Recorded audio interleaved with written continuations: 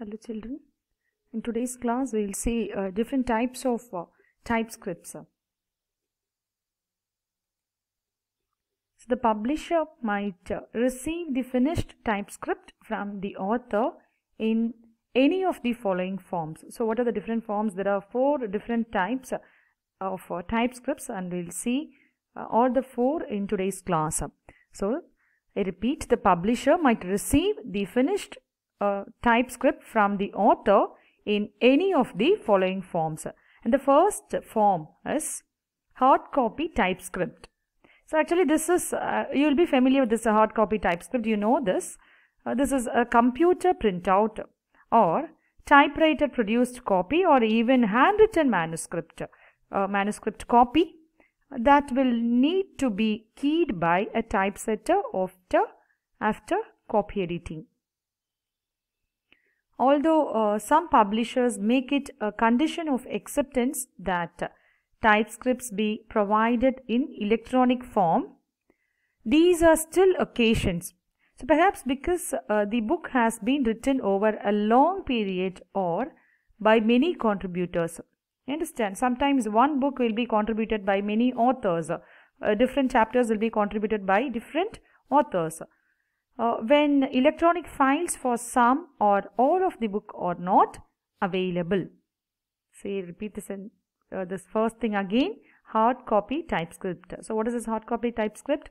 This is a computer printout, typewriter produced copy or even handwritten manuscript copy that will need to be keyed by a typesetter after copy editing. Next, second one. So this is a copy edited uh, paper. Okay. So this is how you can uh, mark here. Um, this is how a, a proofread uh, paper will appear. Source. So the uh, correct the proofreader or uh, could be a supervisor of a project. So he or she wants to know the source of this uh, borrowed line. So source and the specifics. Second thing, electronic files with a matching printout. So electronic files prepared by the author and sent to the publisher on disk, on CD-ROM or by some form of electronic file exchange via an email attach attachment or so. So the file may be dealt with in any of the several ways. So let us see what are those ways.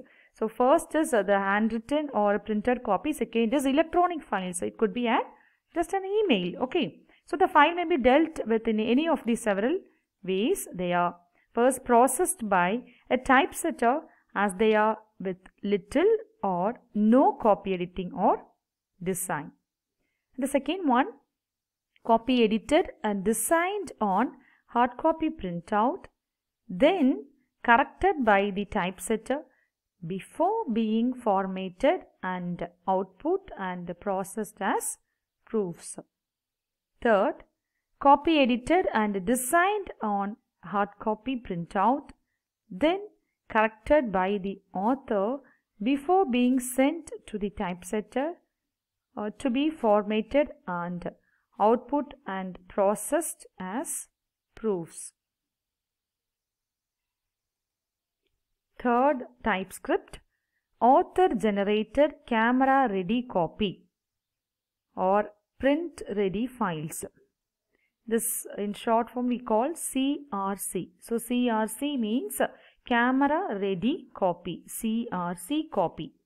Camera ready copy prepared by the author to the publisher's specifications as fully corrected files that are ready for printing. So CRC copy means completely corrected files uh, which is ready for printing. So that is called CRC that is camera ready copy. Fully corrected files that are ready for printing. The last type of typescript is electronic files produced in a typesetting programming language such as TeX or LaTeX. This is produced using any of these softwares.